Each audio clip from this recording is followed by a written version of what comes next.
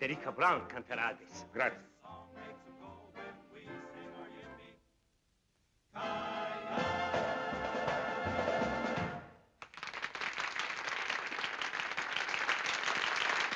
Thank you, thank you very much.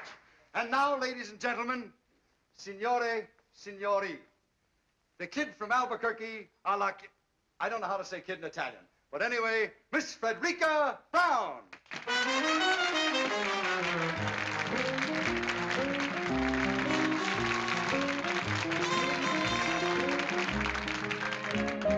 My love and my muse are two of a kind.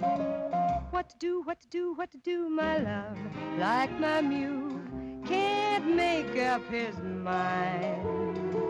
What to do, what to do, what to do, crazy critters, so doggone arbitrary. I get the jitters just talking to the prairie care, they don't care, they don't care, they don't care. Tisn't fair, tisn't fair, tisn't fair, tisn't fair. L'ha trovato? Sì, l'uomo con la barba e sulla scala. My love and my muse get balky and Va bene? Benissimo.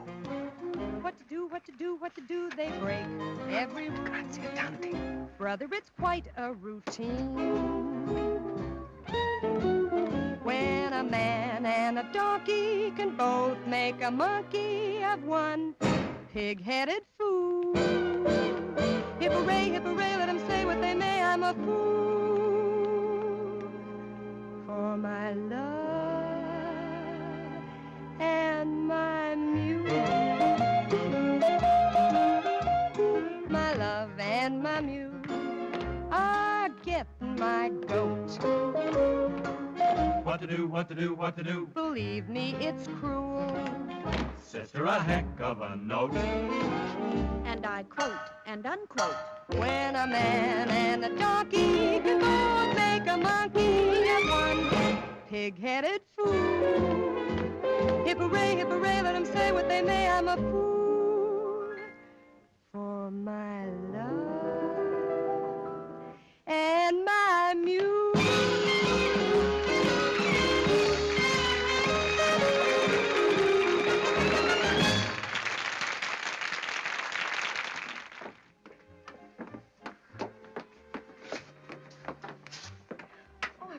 Pardon. I thought this was. Well, this is my room. Indeed it is, mademoiselle. Well, I. I don't think I know you. To your long list of admirers, mademoiselle, I would like myself to be added. Thank you. I congratulate you on your singing. Well, thank you very much. And it occurred to me you might care to join me for a late supper. Well, I'm sorry. I'm sure mademoiselle must tire of restaurants.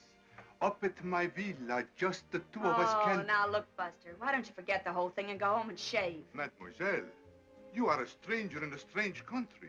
All I have done was to offer my hospitality. And all I'm saying is thanks a million, but will you please get out of here? Mademoiselle, there is no need to lose your temper. If one is young and beautiful, one must expect the will attention. you get out of here? Do I have to send Signore. for... If this gentleman is annoying you, I should be pleased to remove him. Maybe you could save me the trouble. Your name, signore? My name? I... I... It is distasteful to me, signore, to fight a duel with an inferior. A duel? Are you kidding? Not at all, mademoiselle, unless this gentleman apologizes as he leaves the room. I do apologize, mademoiselle. I, I, I did not know. And now what you do? Good night. Good night. Hey, do you really go around stabbing at people? I have learned, mademoiselle, that if one threatens loudly enough, one never has to fight. Say you're pretty smart.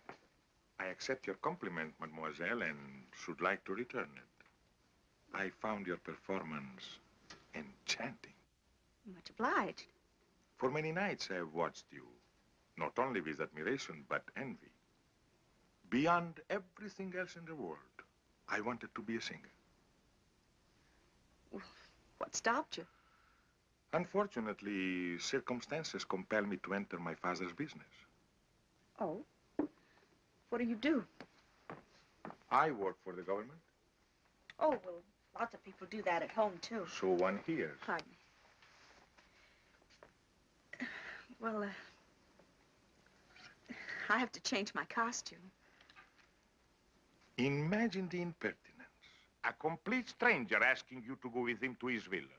Without a chaperone. Hm. I, too, have a villa only 50 kilometers from here. But would I ask you to go with me to it? Without a chaperone? Oh, certainly not. Of course, at this hour, it might be difficult for me to find one. Well, uh, I could find a chaperone. You could? Sure. Georgie Hoskins and his California Cowboys. All of them? Look, Mr. Imperium. Imperium. Well, uh, thanks a lot, but good night. Mademoiselle, this is Italy. Out there is the Mediterranean. Over it, the most beautiful moon. Oh, I love Italy. And the Mediterranean. And the moon. Of course you do. And I get all of it. Every night. Right from my balcony. I sit out there with a chicken sandwich and a glass of milk. All by myself and love it. What a waste of uh, the Mediterranean. Well, uh, good night, Mr. Imperium. Good night, mademoiselle. You are married? Oh, not me. Oh, that is a pity. A great pity. Because if mademoiselle were madame, it would be quite correct for me to kiss her hand.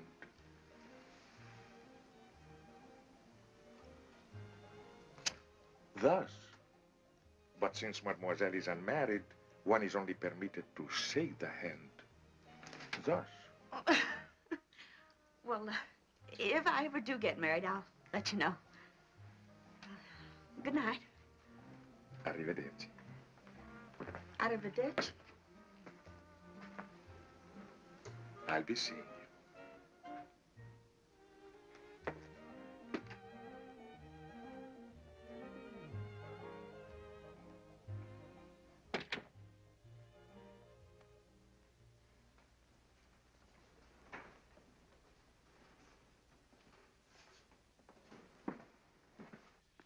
Hello, Giovanni. Buonasera, signorina. Chicken sandwich, Good. glass of milk. Si mangia sempre la stessa cosa, signorina. Sempre la stessa cosa. Always the same thing. Brava, brava, signorina. Well, I'm learning.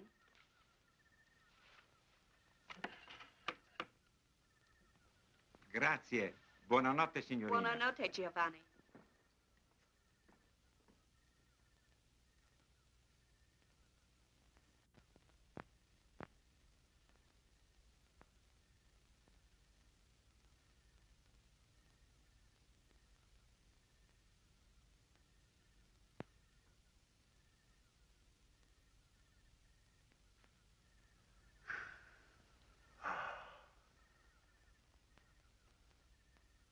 Well, well, well, what a coincidence. Well, isn't it? And I don't think I like it. No? There was a nice couple living in that room. They were from Texas. Texas, eh? What happened to them? Oh, They are extremely happy in a deluxe suite at the same price. I thought you had a villa near here. I do. It was no trouble to have my suitcases packed. Desidera qualche cos'altro? Altezza? No. Giovanni, Signorina? what Signorina? was that you just said? Desidera qualche cos'altro? No, no, uh, the, the last word. I'll, I'll... Altezza? Yes. What does it mean? It means uh, Your Royal Highness. Why did he call you that? Oh, because of a very unfortunate accident Accident. of birth. Forgive me, but I am Prince Alexei de Lavin de Corporantoc de... Prince Alexei de... de... Just call me Al.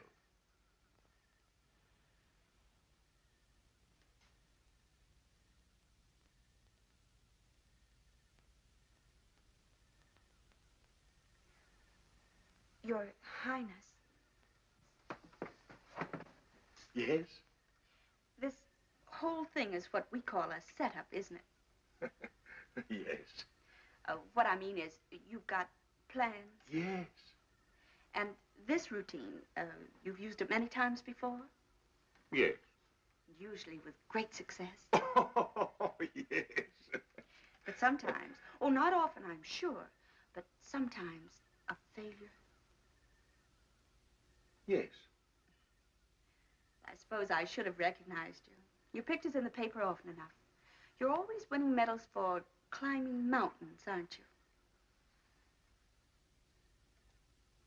Yes. Well, Your Highness, I hope you realize you're not going to win any medals tonight. Yes. Well, as long as we understand each other, there is no reason why I should not sit here and enjoy the Mediterranean.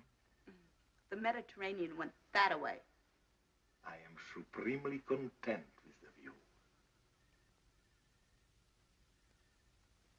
Perhaps I can tempt you with a little champagne. My friend, you can't tempt me, period. Period. Oh, not that I don't admire your technique, the lengths you go to. That man with a beard and that baloney about a duel. And getting those nice Texas people to move. Champagne, caviar, the moonlight, the Mediterranean. Oh, I can take no credit for the Mediterranean. Mm-hmm. We'll take a bow for putting it to good use.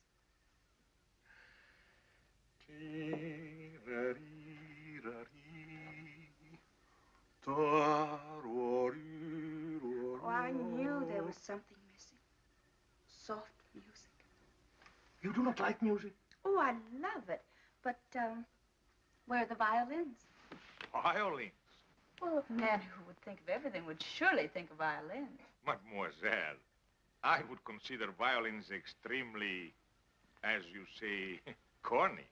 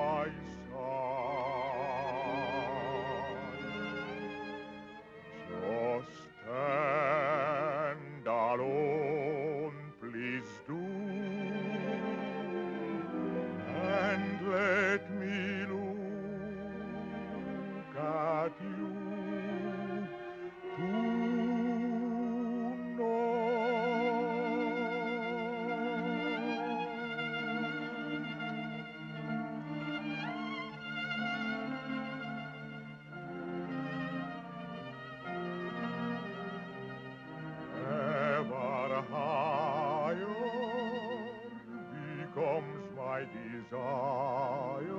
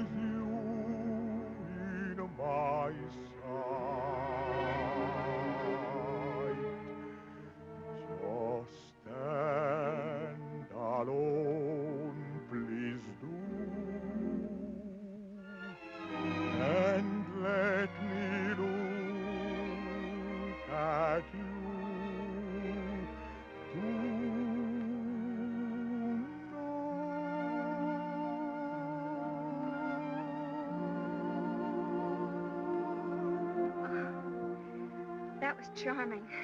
Well, uh, good night, your. Al, Good night. Oh, I can't call you Al. but I may call you Frederica? Frederica Brown. It doesn't suit you, no. I shall call you Fredda. Freda. It's an Italian word, but it describes you perfectly. What does it mean? Oh, it's one of those untranslatable words. But believe me, my dear, it describes you.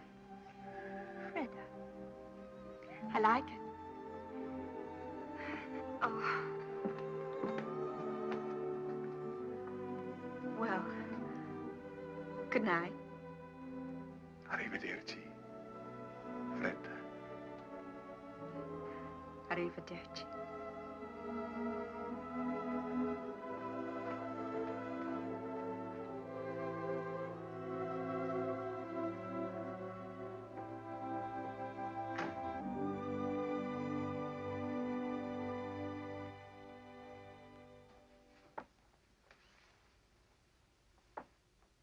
Fredda.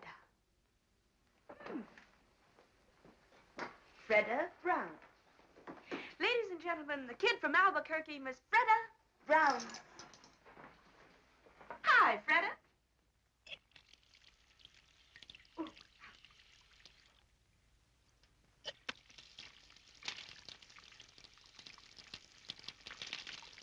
Cold, huh? Fredda.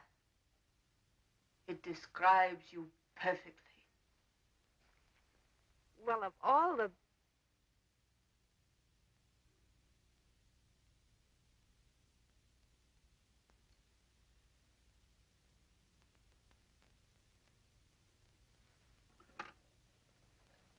Pronto?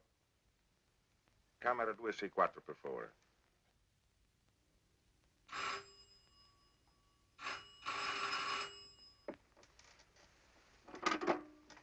Hello? Fredda? Very funny. What? Fredda. Well, aren't you Aren't I what? very, very Fredda? Look, Your Highness, I'm a tired working girl Where are you now? in my room. I know. But where? I'm at the telephone. Where is the telephone? It's over there on the desk. Over there in the desk. Strange. In my room is by the bed. So? So I was thinking. Go on. I was thinking that uh, since you do not trust me in the moonlight, perhaps tomorrow when the sun is shining, you would drive with me in my car, or uh, could sail a little boat, or anything else you'd like to do. Nothing fatal ever happens in the sunshine. Well, perhaps, Your Highness. If you'll call me in the morning. Then you do trust me. Oh, yes. I trust you. Good night. Arrivederci.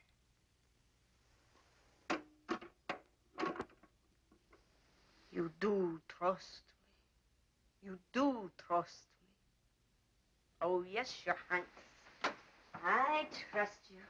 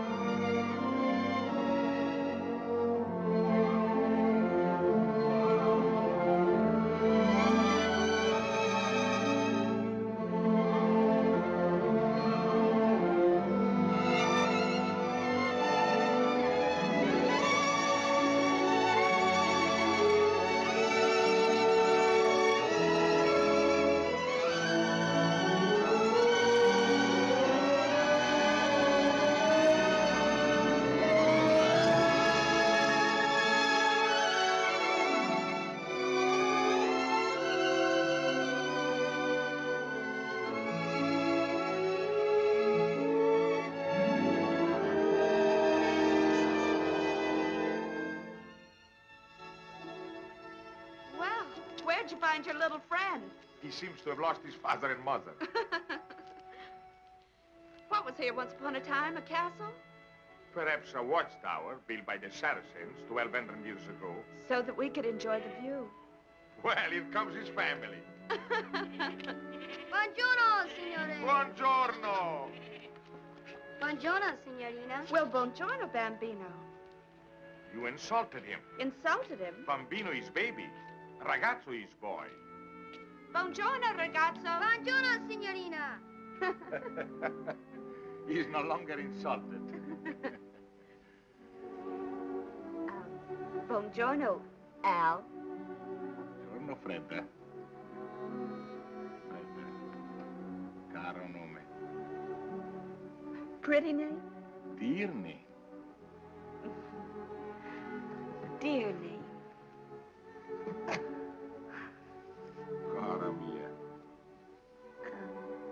My dear. My dear.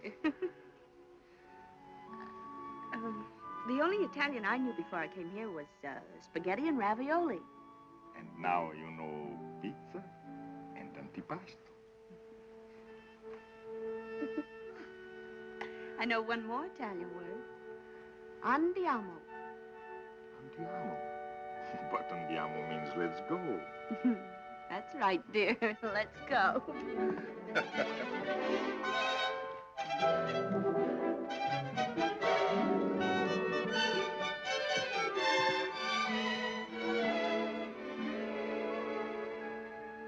Let's go. Let's go. Oh, I forgot. He's an Italian donkey. Oh, What was that new word you were teaching me? andiamo. That's right. Andiamo.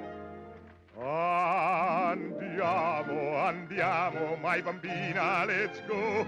Cara mia, look around you, what a beautiful show. So come with me presto, caro nome, my love. The sun is high above. Andiamo, andiamo for a glorious fling. How allegro, how vivace, how alive is the spring. And we are alive to each other, and so I sing fortissimo. Do you love me? Fa, sol, la, si, la, si, do. If you love me, I'll bravissimo. Andiamo, andiamo to a hilltop of pine.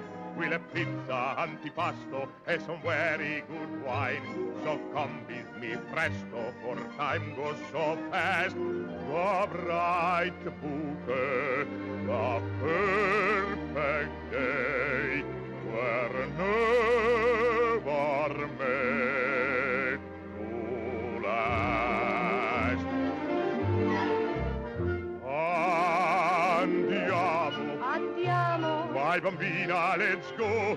Cara mia, look around you. What a beautiful show. So come with me, Presto. caro nome, my love. The sun is high above. Andiamo. Andiamo for a glorious fling.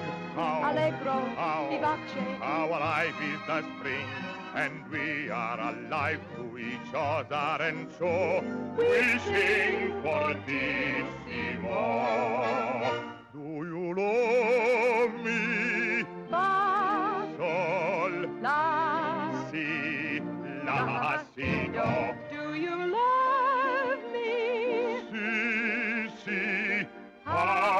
Bravissimo. Andiamo Andiamo. to a hilltop of pine. We'll have pizza Antipasto. and some very good wine. So come with me, Presto. for time goes so fast. The bright bouquet, the perfect day, were never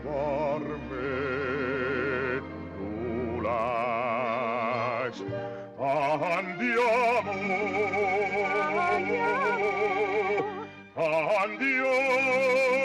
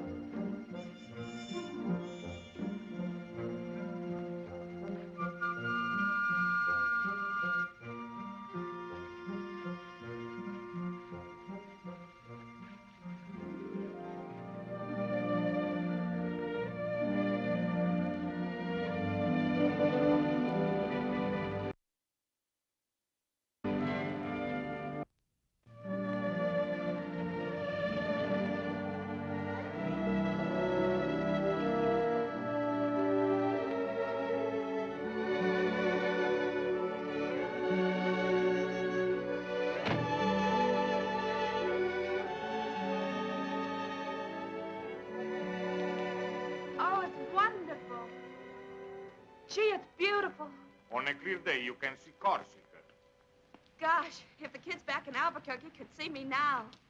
Do you come here very often? Yes, very often. Oh? Who with? My little son. Tell me about your son. What would you like to know? Well, does he look like you? Oh, by an odd coincidence, I just happened to have these with me.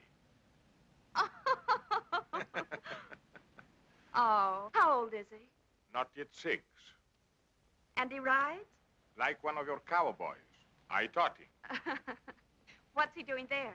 Playing chess with my father, the king. I taught him to box, too. you did? Indeed, I did. And you know what happened? He got into a fight with the gardener's boy, eight years old, three inches taller. Well, that wasn't so funny. But it was. It was terribly funny. One punch from the gardener's boy, and my little prince got two beautiful black eyes. he told me he fell in the bathtub.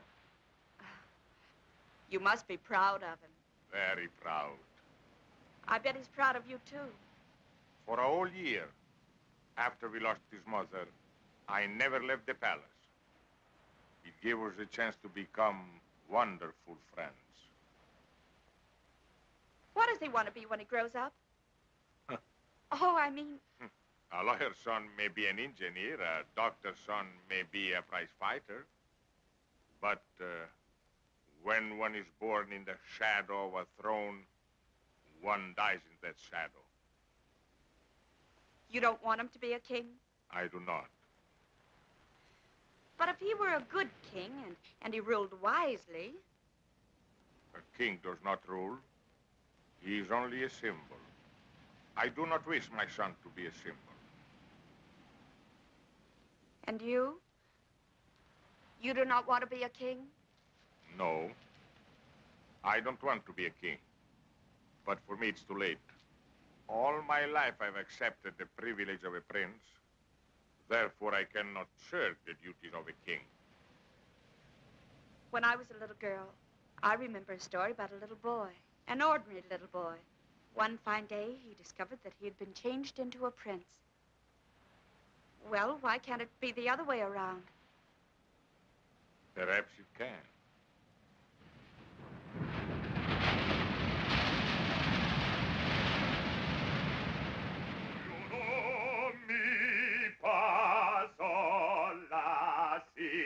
Si la si do do you know me entrate la la la Giovanni Telegramma, Tessa.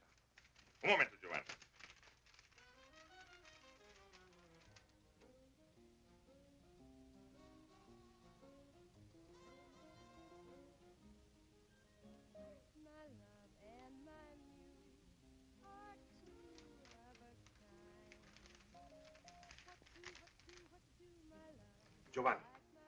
un grande favore.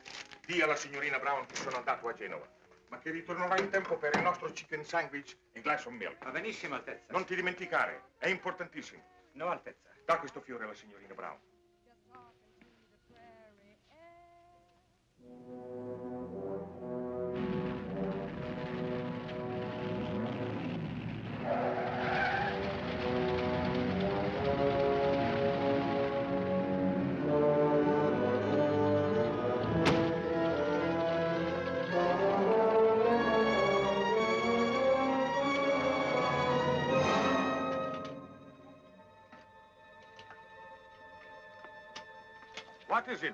What is so urgent? It's your father.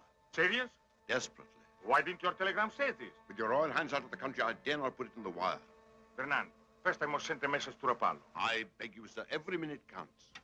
A piece of paper, Bernand. A pen, a pencil.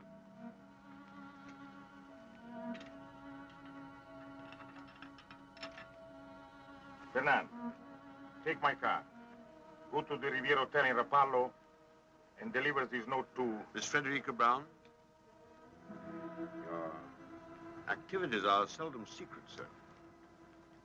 But, uh, note is hardly necessary. I will handle this matter with my usual discretion. This matter, as you choose to call it, is not usual. You will deliver this note to Miss Brown and follow me on the earliest plane. As you wish, sir.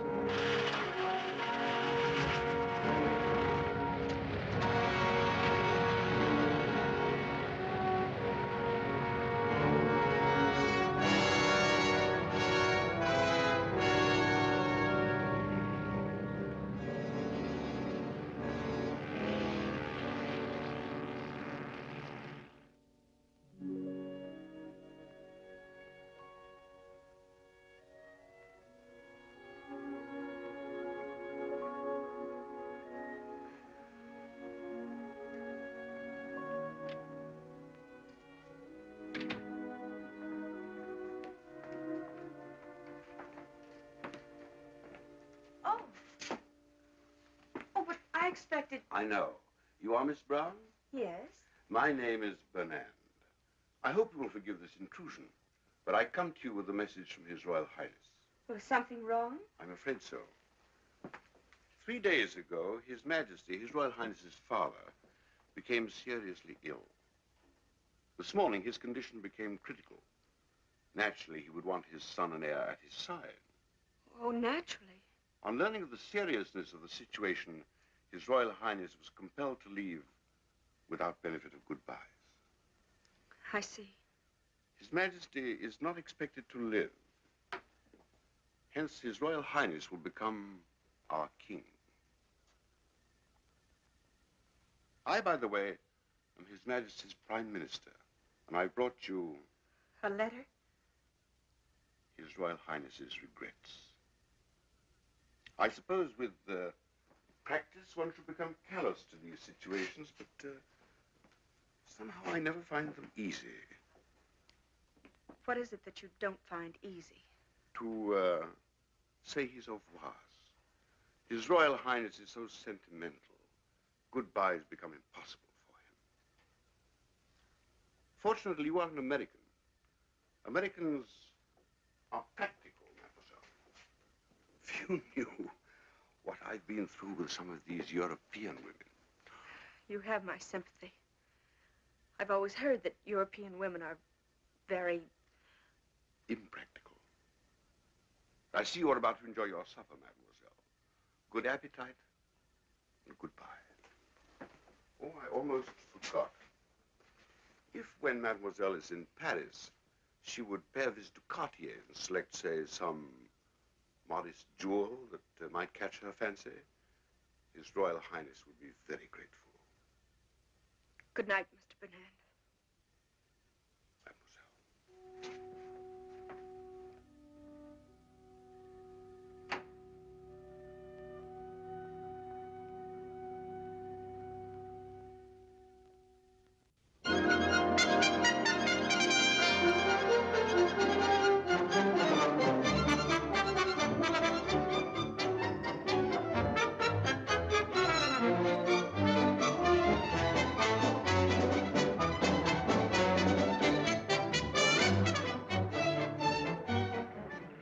Addition, s'il vous plaît.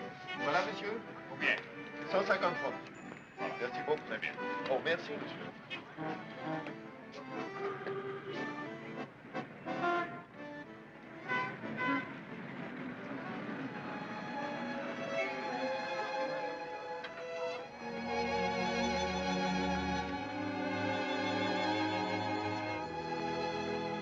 Ce film, où est-ce qu'il a été fait? À Hollywood.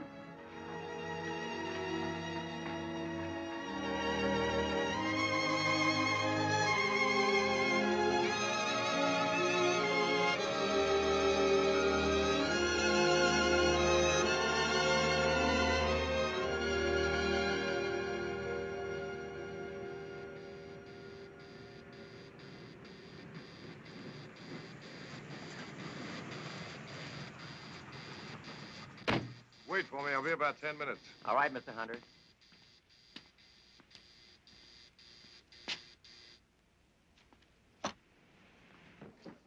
Hello, Mr. Hunter. Hello, Mac. Not through shooting the test yet. They have just finished the last shot, sir. Huh? Anna? Anna! Yeah, yeah, madame. Oh, what time is it? Oh, half past eleven. Oh, I'll just about make it. Greta. Oh, hello, darling. I want to talk to you. I want to talk to you, too. Well, let me get out of this and I'll be right with you.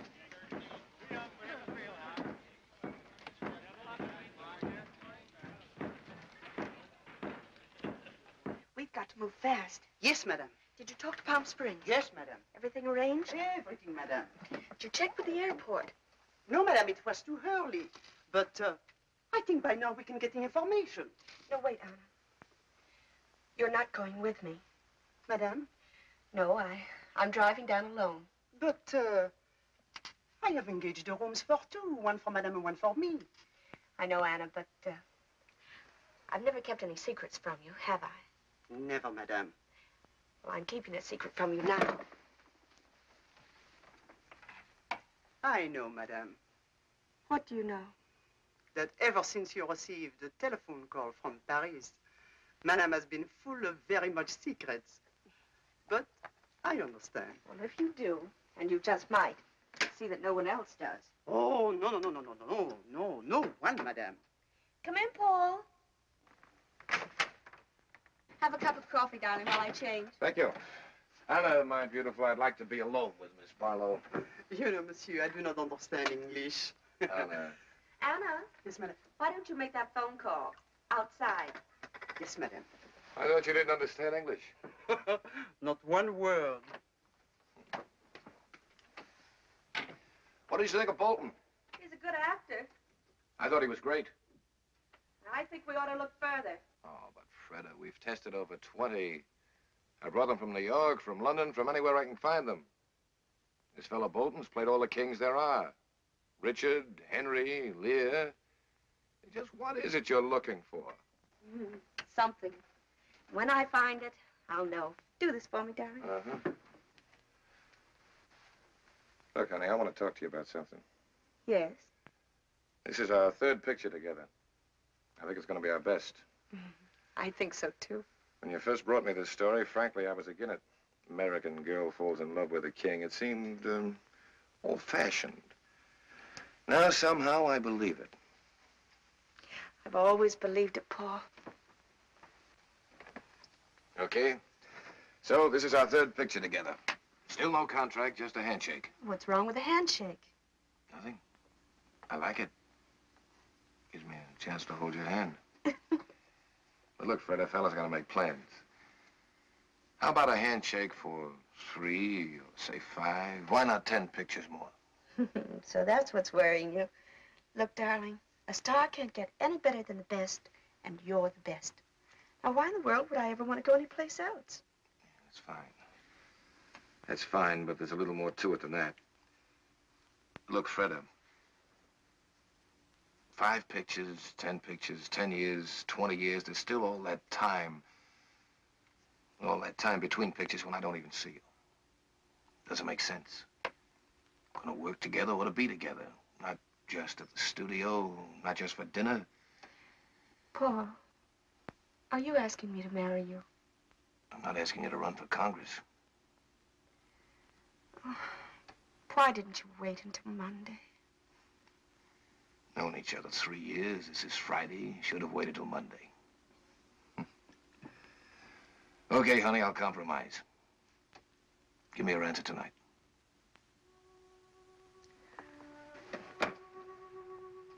I can't see you tonight. No? No, I, I'm going out of town. Oh, where you going? I'll be back Monday Monday. or sooner. And on Monday, I say to you, please, Miss Barlow, will you marry me? Will you, Paul? I don't fall for someone else over the weekend.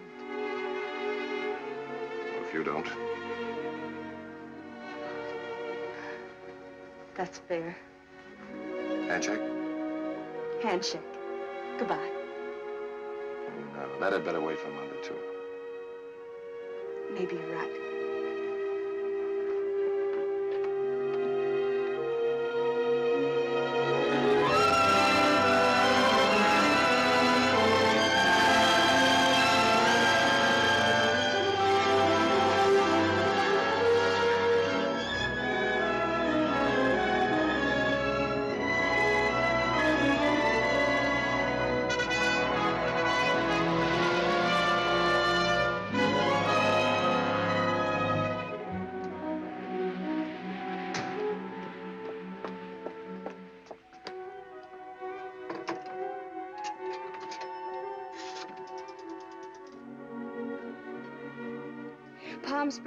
1497.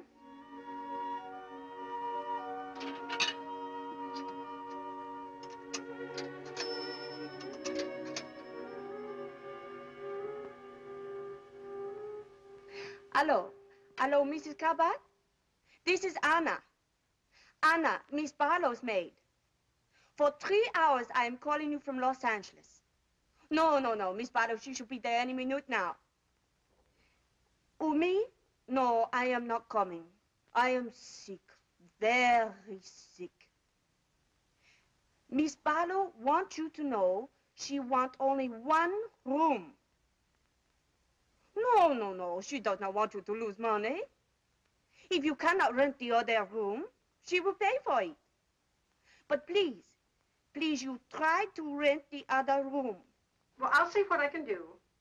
Goodbye. Gwen!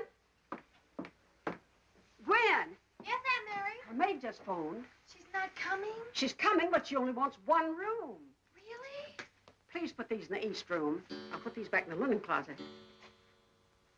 Our clock's right for a change. Nevertheless, put the towels in the east room. Yes, Auntie. That's her. The east room, Gwen. Yes, Auntie.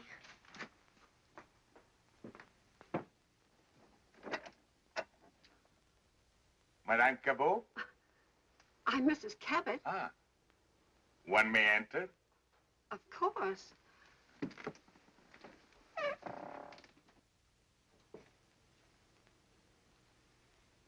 My name is Imperium. Imperium? Imperium. I thought that's what you said. Imperium. I have just arrived from Paris. From Paris? Well, that seems extraordinary. Oh, well, the, uh, uh, It is my understanding, madame, that you have a room for rent. well, how'd you hear about us if we don't advertise? Well, you see, in Paris, it was very cold and very wet. I heard your desert was very warm and very dry. I like warmth, madame.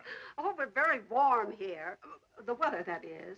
Well, the weather is what I refer to, madame. I thought that's what you meant. And so, madame, I boarded the plane, flew to Palm Springs, but unfortunately without reservations.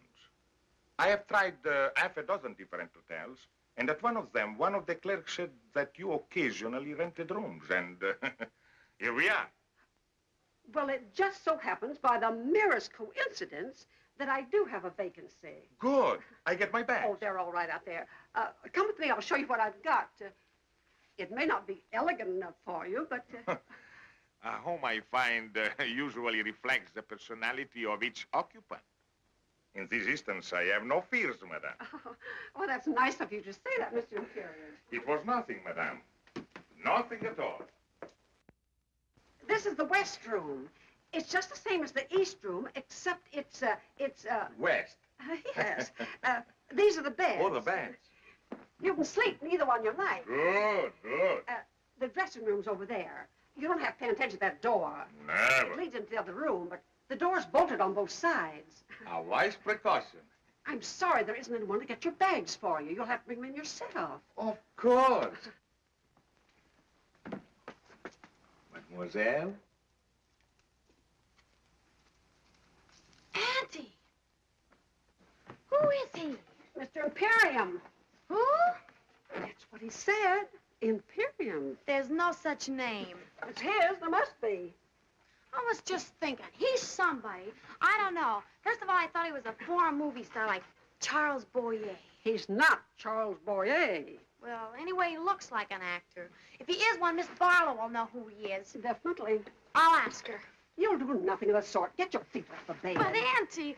The only reason she comes here is because so quiet. No one ever bothers her, asks her any questions, including you. I wasn't going to oh, bother him.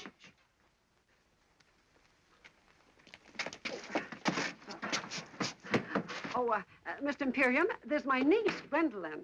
Mademoiselle, delighted. How do you do?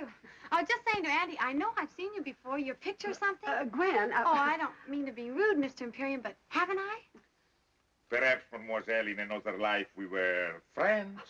Oh, Mr. Imperium, what a perfectly dreamy thought. Uh, Gwen, darling, if we're going to the movies tonight, you've got your homework to do. Yes, Auntie. Uh, now, darling. Yes, Auntie.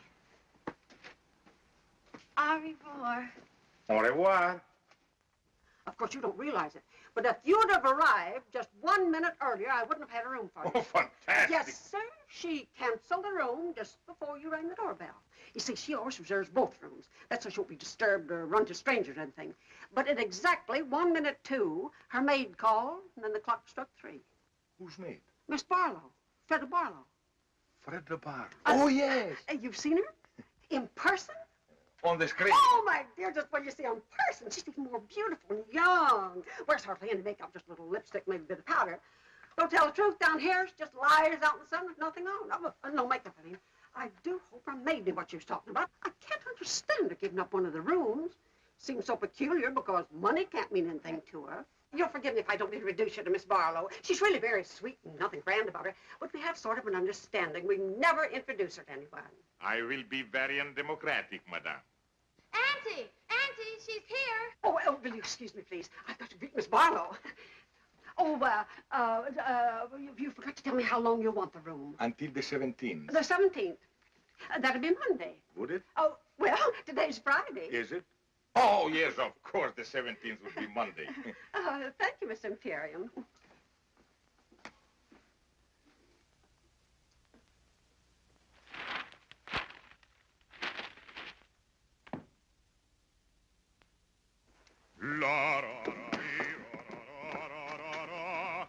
Oh, dear.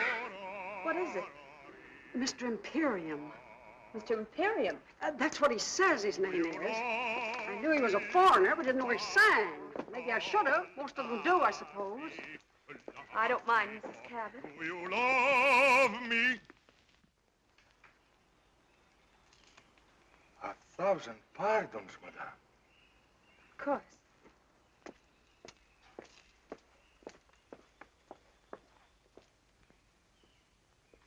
Was the strangest thing, Miss Barlow. Just after I hung up the phone, I talked to your maid. The bell rang. There stood Mr. Imperium. Wasn't it the most amazing coincidence? Oh, amazing. Gwen, will you please put these in the bathroom? Yes, Auntie. Oh, dear.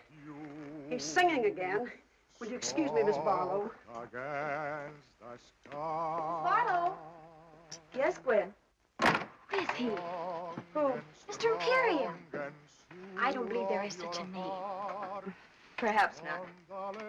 And yet I know I've seen him in something. In something? The movies, I mean. Of course, he's not a star. We don't know right away who he is. But he must be an actor. I can tell. I know I've seen him, Miss Barlow. I just know I've seen him. Well, perhaps you have. But at any rate, I shall see no one for the next few hours. I'm exhausted. May I draw the drapes for you? Mm, that would be wonderful. He is good looking, isn't he? Who? Mr. Imperium. Well, I'm afraid I didn't notice. Well, if there's nothing else I can do. Nothing else, thank you.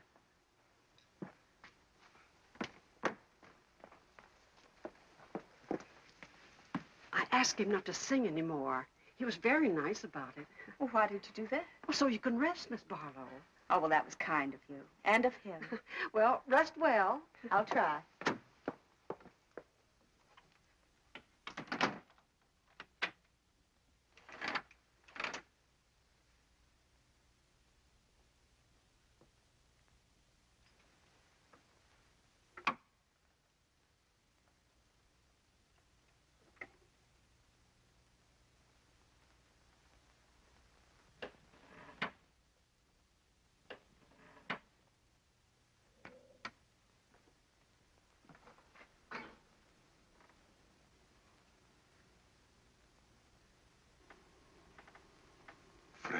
Brown. Your Majesty. For 12 years I have waited for this moment. Why have you waited so long? All through the war, I was a prisoner of Maya Palace. I know. I, I prayed for you. Then there was the revolution and the government in exile in Paris. When I learned what Bernand had done to us and I was free to look for you, there was no Frederica Brown. But my name hadn't changed. I was easy to find. So many times I wanted to write. Well, why didn't you? It took a long time for me to forget. A long time to fall in love with someone else. Someone else? Then the phone rang, and the operator said, Paris calling. And then I heard your voice. And I hadn't forgotten you at all. Oh, that's what I waited to hear. What is it, Fred? Only that even in Hollywood, we, we do read the newspapers. And what do you read? That next Tuesday, there will be a plebiscite. No people will go to the polls to vote you back onto the throne. You'll be a king again, and, and I... So that's it. On Tuesday next, there will be a plebiscite, and my people will go to the polls. But they will vote against me, because by that time, they'll know I am here with you to stay.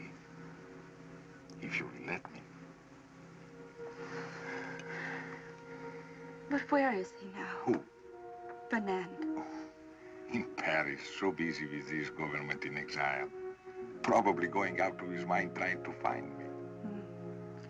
He found you once before. Uh, this time I have been too clever. No one knows I am here except your State Department. So, my darling, on Tuesday next, I will be a king without a throne. A commoner. In love with the queen.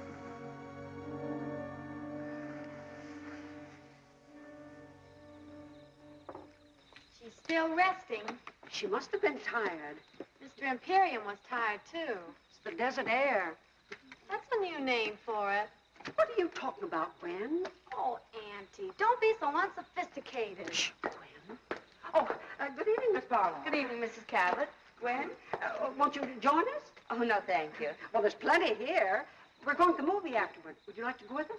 Well, thanks very much, but it's such a lovely night. I thought I'd take a little drive and get a bite of dinner and then come back to bed. I hope Mr. Imperium's all right. We haven't seen him since I showed him the room. My love and my mule are two of a kind. What to do, what to do, what to do? My love like my mule. So... Forgive me, madame. I forgot my promise. I think you've got a wonderful voice, Mr. Imperium. You could be an opera. Oh, you flatter me, mademoiselle. I'll bet without my accent, you would all think me a cowboy. Oh, even with the accent. Oh, what a wonderful evening. Everybody paying me compliments. Uh, that's a very old song. Where'd you learn it? In Italy, madame. And you remembered it. It was sung uh, not too well, mind you, by a very beautiful woman. I remember the woman and therefore the song. Oh, I think that's charming, Mr. Imperium. Don't you, Miss Barlow? Oh, charming. Not original, mind you, but charming. Madame, there is so much originality in the world and so little charm. For example, For example? for us to dine together would not be very original, but it would be charming. Well, the restaurants here are rather limited. To me, Mr. Imperium, you suggest uh, caviar, champagne. On the contrary, madame. I am the chicken sandwich and the glass of milk type. Well, we can do better than that. There's a little place halfway up the mountain. Charcoal broiled steaks. Oh, Miss Barlow, you have talked me into it. Madame, mademoiselle. my love and my mule are two of a kind. What to do, what to do, what to do? We didn't even introduce them. I tell you, Auntie, there's something squidgy about the whole thing. Squidgy? In the first place, giving up the room, then going off with him, a stranger, just like that. And why should a foreigner sing cowboy songs? I don't know, dear. But your uncle was an American, and he loved to sing, Oh, Sole Mio. Of course, that was different. He really never knew the words.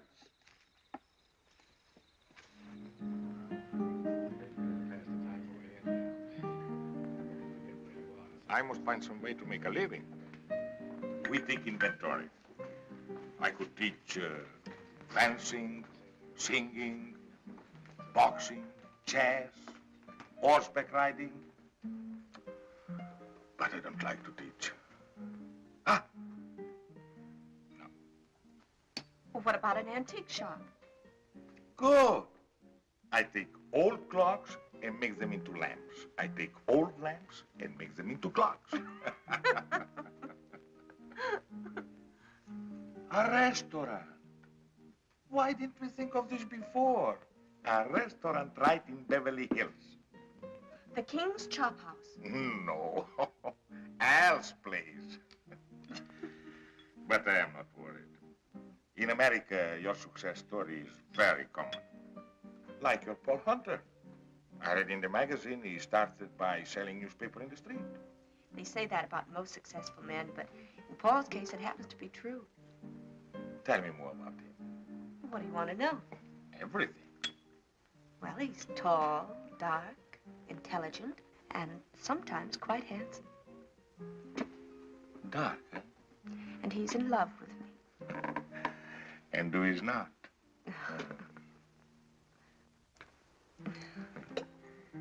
Tell me about your new picture. What is the story? An American girl falls in love with a king, What a coincidence. isn't it? Who will play this king? Well, we don't know. We've tested more than a dozen actors, but there's always something missing. Fredda, how would I photograph? How would you photograph? For a thousand years, actors have grown wealthy playing kings. it would be a beautiful event. Beautiful. what a wonderful country this America. Only a few moments ago, I am a lowly restaurant proprietor. Now, I am the star of the picture. Co-star, darling. Well, with my new success, I can afford to be generous. In this picture, do I make love to you? Oh, yes. I think I can do that very convincingly. You're serious. Never have I been more serious in all my life. But perhaps your Paul will think I am not the type. My Paul has a wonderful eye for talent. Everything okay, folks? You have no idea how okay. Would you mind, Miss Barlow? Not at all.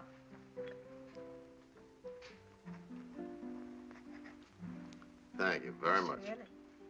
Next year, I will sign the autograph book. Well, hello. Hello, señorita, ¿cómo está? Hello, Miss Barlow. Nice to see you. Hello.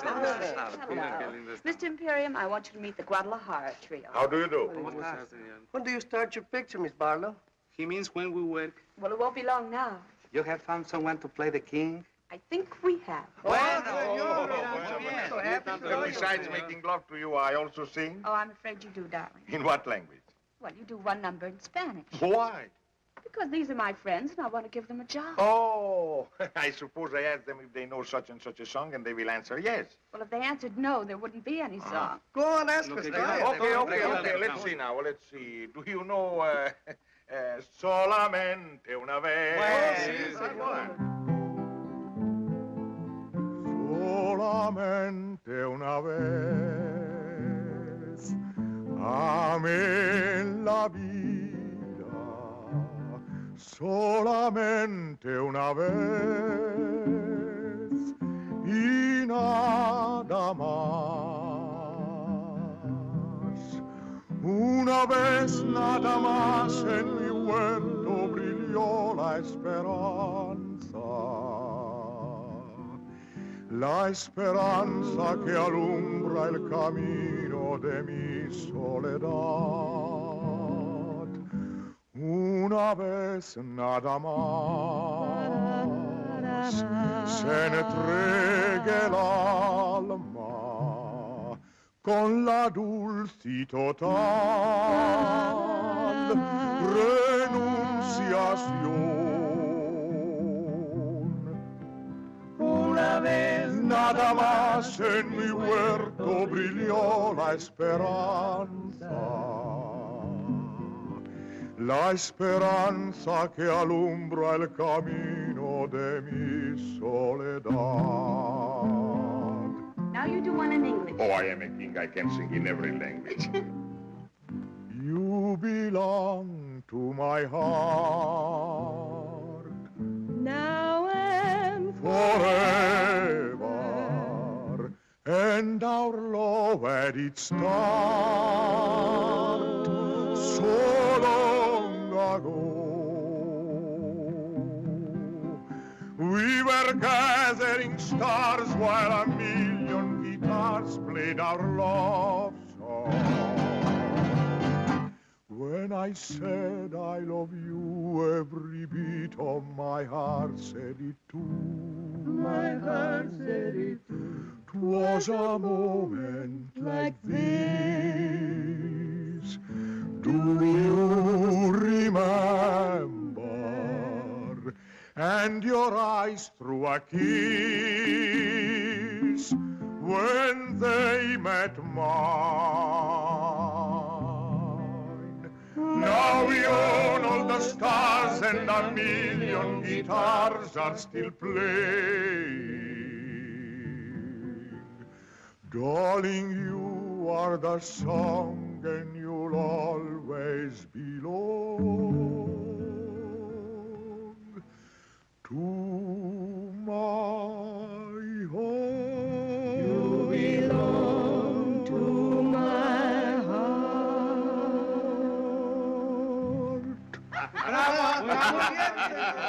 Muchas gracias, muchas gracias. Did you notice her car isn't here yet? Maybe she put it around on the other side of the house. Oh, Auntie. They aren't home. Their doors are still open and her light's out. And it's after 11. Yes, it dear. It doesn't take that long. It Doesn't take that long for what? To eat steak and potatoes. She might have gone for a drive. There's nothing restful about a drive. Well, she said she came down here to rest. Well, she rested all afternoon. How do you know? The drapes are drawn.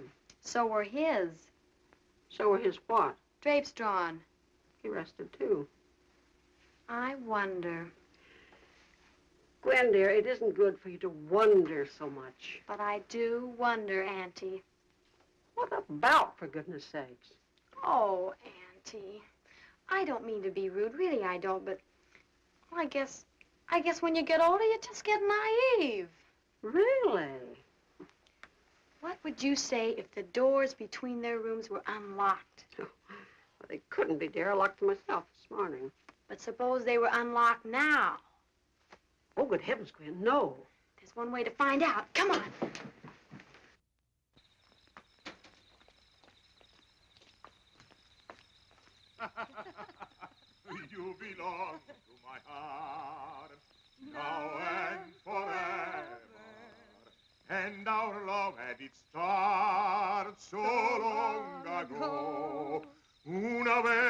vez nada.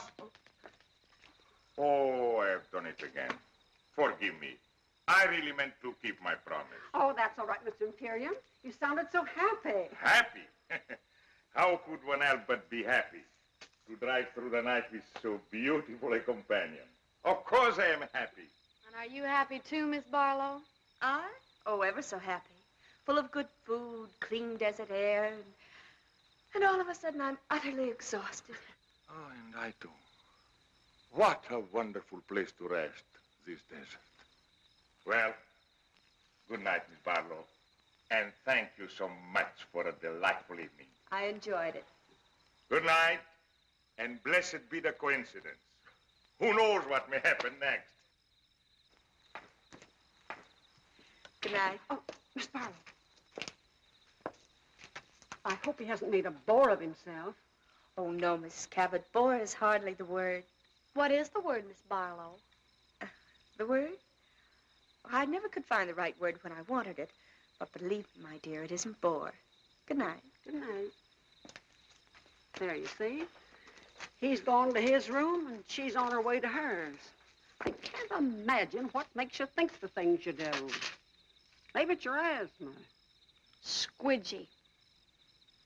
Come on, time to go to bed.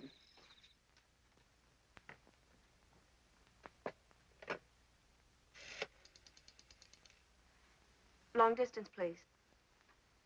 I want Beverly Hills, Crestview, 54124, uh, 1497.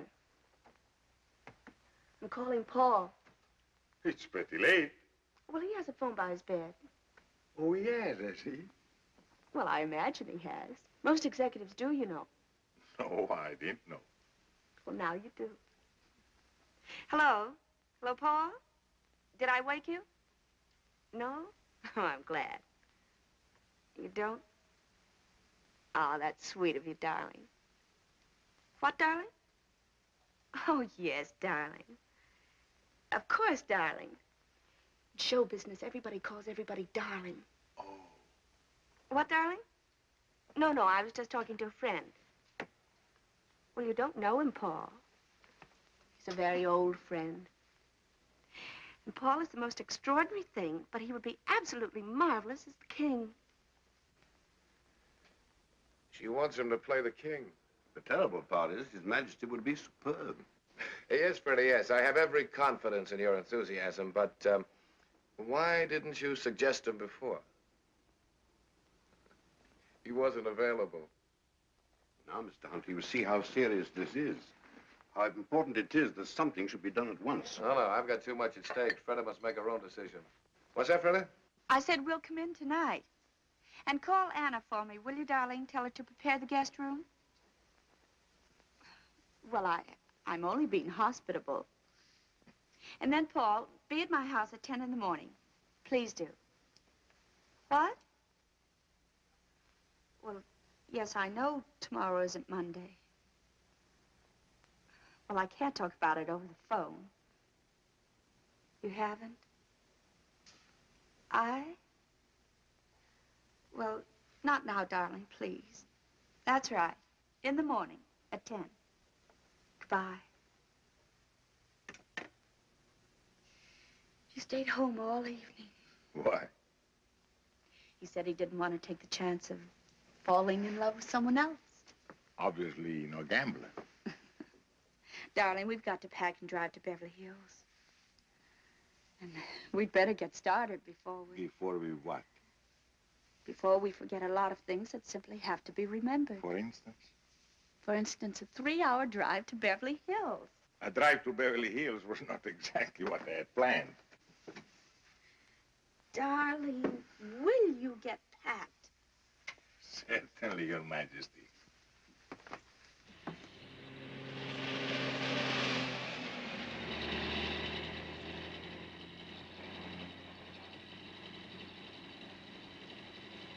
Oh, so that's it.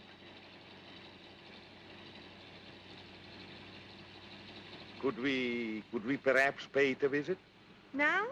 But there'll be nothing to see except some empty stages and the night watchman. I have always liked fashionable resorts out of season. All right. There is something I'd like to show you at that.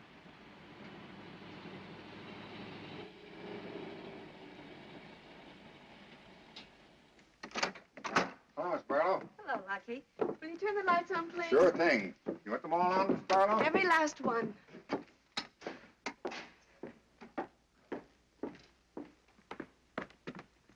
Come on, I want to really show you something. Now, you wait right here. All right. Ready? Ready? Andiamo.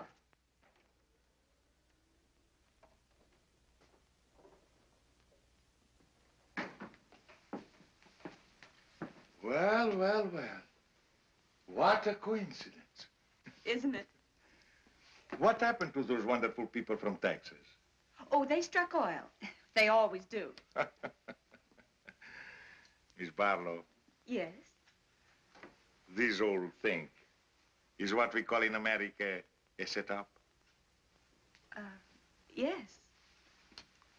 You have plans. Yes. You have done this before. Oh, yes. And always with great success. yes. And sometimes not very often. Sometimes a failure. Mm, yes. Tonight, you will have no failure. I am what you call not hard to get. You have suspected this? yes.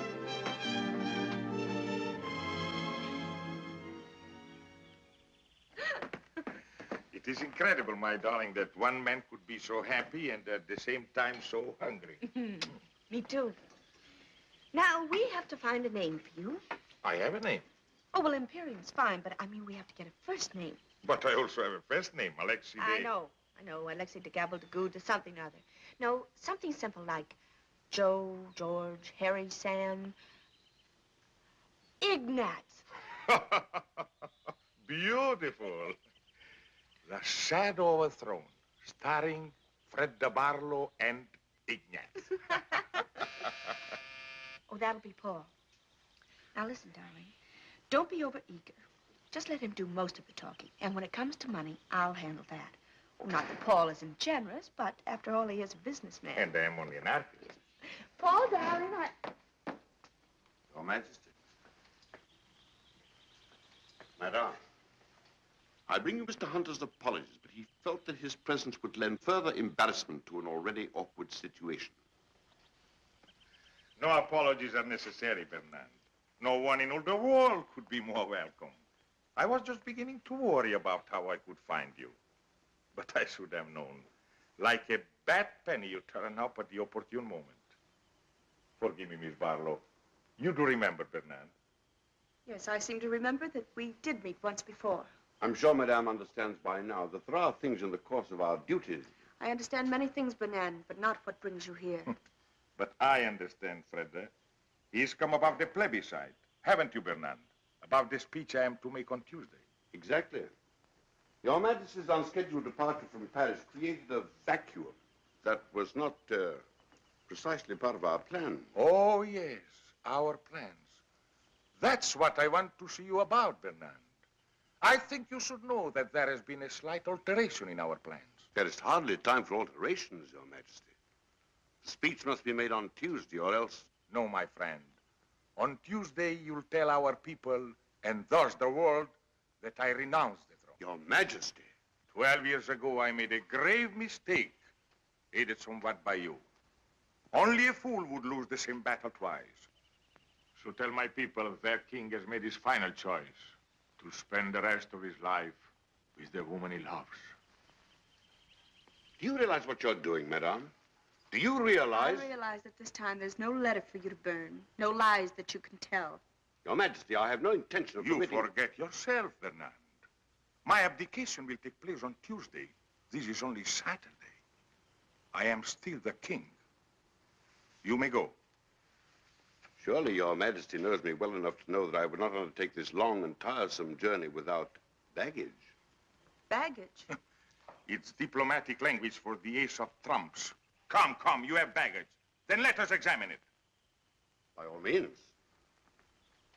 You know, Madame, that after the war ended, we had a revolution. You will find Miss Barlow very well informed. Good. But this she may not know. Our people now are weary of revolution. They want their king again.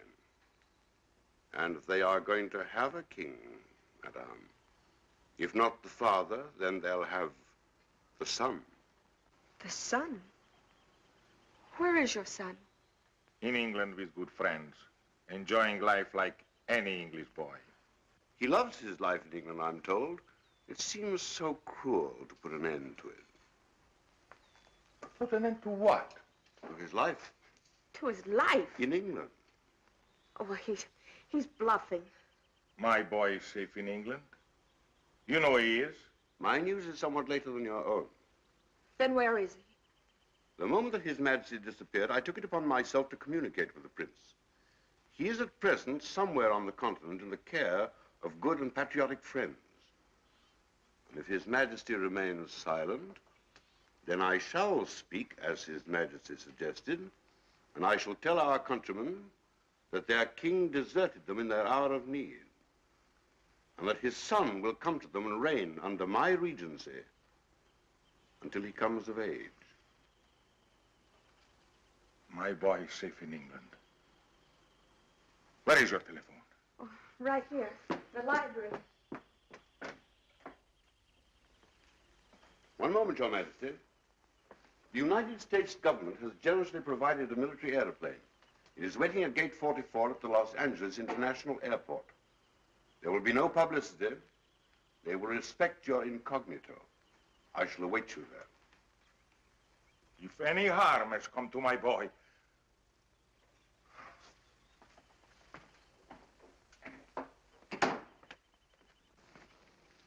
Bernand. Please, wait a moment. I want to talk to you.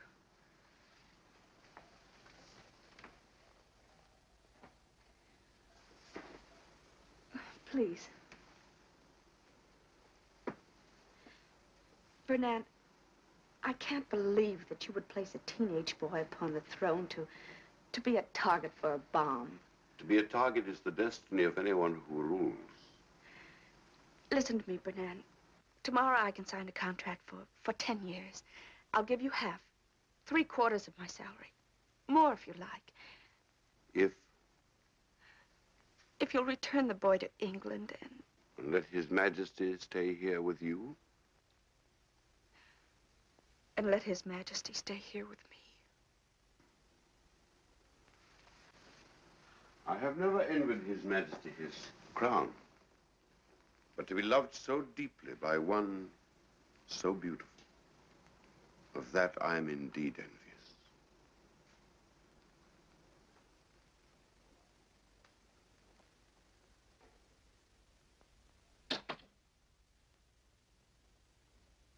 Yes? Yes, that's right. Mr. Clifton Taylor, Ainsbury School, Sussex, England. Thank you. They will call right back.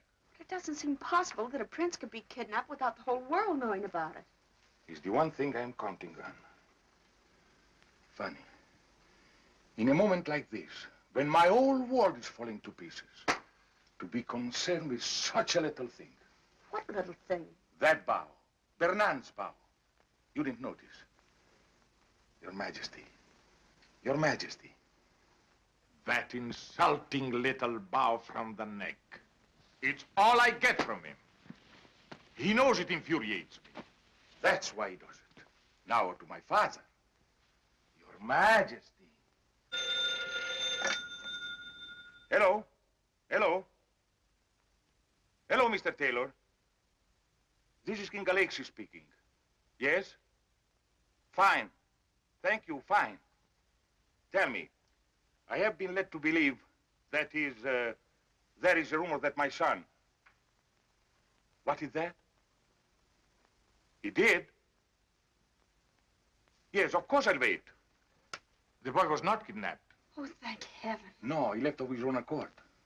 He left a note uh, to the headmaster. He's going to read it to me. Have you pencil and paper? Yes. Yes? Yes, Mr. Taylor. My country is in danger. And I can do no less than go to her aid.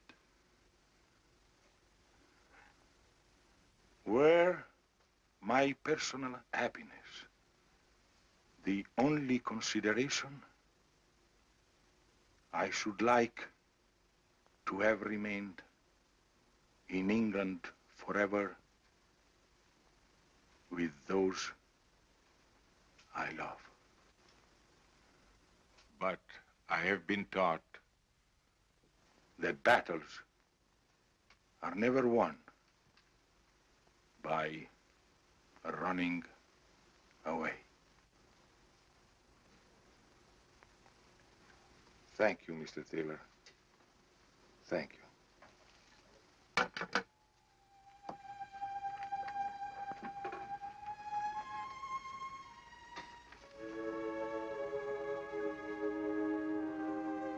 Seventeen years old. You taught him to ride. You taught him to box. Perhaps you taught him this, too.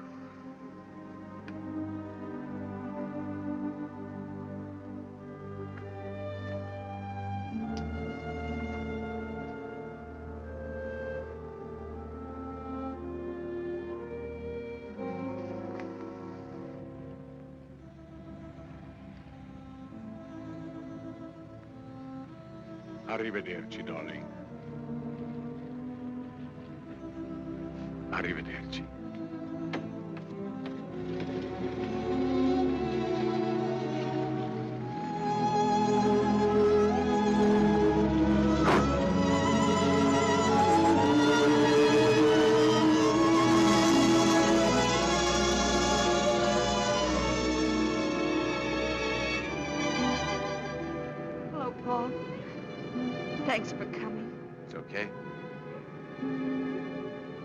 Certainly was the type.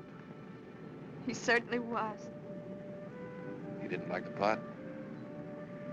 He didn't like the part. What now, Fredda? Five pictures, ten pictures, twenty if you like. Between pictures? All that time between pictures, Fredda. Any plans? He said, Arrivederci. What does that mean? I'll be seeing you.